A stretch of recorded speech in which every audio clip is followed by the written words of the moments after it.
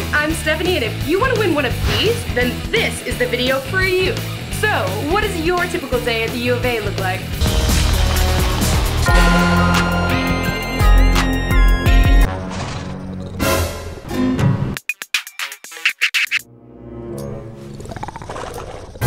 Uh, yeah. Anyway, the Dean of Students office is running a video contest this spring for the U of A's Day in the Life project. That's right, they want to feature you.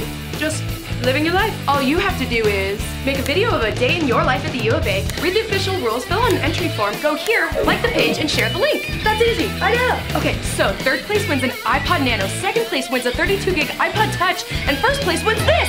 Wait, you don't win a dog, you win an iPad. The contest begins January 16th and all entries must be submitted by midnight on January 27th. For all the details, be sure to check out the website. So get out there and show the whole world how you live the Wildcat lifestyle. Well, I'm Stephanie, and you just got in the know.